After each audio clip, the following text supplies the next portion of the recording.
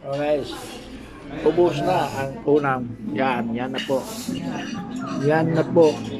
Nawala na po. So, buffet style do. So, ito na pong pangalawa. Yan. Ito is the fish to fish. Saka beef. Kumuha ko ulit ng beef kasi masarap yung beef. Nala po yung ano, yung squid na wala na. Oh. Ubus na. Kasi masarap siya eh. Fairness. So. Ah, yung may mga ano, group of a group of Filipino people. Uh, kapula sila is ano, Christmas party yata nila. Ah, nandun sila sa kabilang room na na may video karaoke. Doon sila. So, ito yun. So, pihaw yun. Dalawa na. One, two. Knockdown. First set, second set. 6-0, 6-0. Ito yon tie break. Magta tie break. Um, your is uh, six or two. May mo second set. We play, we play 6 all. 6 all. That's why it take time. Yoshi is uh, tie break.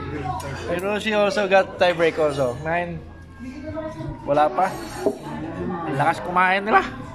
Talo tayo. So, yun. So, anyways, ubusin ko muna to. Kain muna tayo. Masarap to eh. Ayun o. Check nyo ha. Check ko. Ito yun o. Yung beef na beef. Oh. Mm, sarap. So, masarap yung Chinese restaurant nila. Chinese bistro dito sa Jeddah. In fairness, masarap. Mhm. So guys, don't forget to subscribe my YouTube channel. Please do like um, share it. Um, para makakita pa kayo sa more video updated sa.